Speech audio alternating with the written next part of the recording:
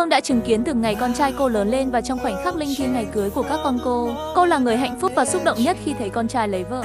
Cô đã dành cả một đời hy sinh và chăm lo cho con trai vào ngày cưới của con trai. Cô luôn là người tất bật chuẩn bị thiết kế phòng cưới cho con trai cô. Và đây cũng là món quà mà cô dành tặng cho các con. Cô đã nhờ công ty Deco chúng tôi qua đo và khảo sát lên thiết kế phòng cưới cho hai con. Và đây là hiện trạng thực tế khi các bạn kiến trúc sư bên chúng tôi qua đo. Đo xong các bạn kỹ sư bên chúng tôi đã thiết kế và thi công như sau. Phòng rộng 14 m vuông, chính vì vậy chúng tôi làm giường kích thước đệm 1,8 x 2 m thiết kế thêm hộc ngăn kéo để giúp các bạn trẻ để được nhiều đồ hơn. Bên trong giường cô Hương muốn thiết kế thêm cho đôi bạn trẻ để thêm vali hoặc đồ ít dùng cất vào gầm giường này. Cô Hương rất thấu hiểu các con và luôn mong muốn các con mình được hạnh phúc chính vì vậy cô đã mua cho đôi bạn trẻ một căn chung cư ra ở riêng còn phòng cưới này chỉ làm thiết kế để đón dâu và thi thoảng cuối tuần.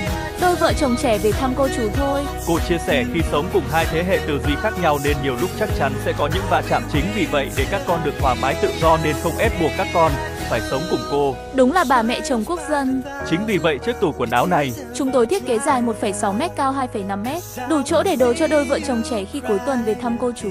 Sau khi các anh em thợ lắp đặt xong thì đã có một phòng cưới đẹp thế này. Và giờ thì cô Hương đã thấy tự tin và hạnh phúc phấn khởi chuẩn bị đón con dâu về. Và cô rất vui mừng hạnh phúc khi biết tin cô sắp được bế cháu nữa. Niềm vui được nhân đôi. Các bạn trẻ nào chuẩn bị cưới thì hãy lưu video này lại, tham khảo làm cho phòng cưới mình nha.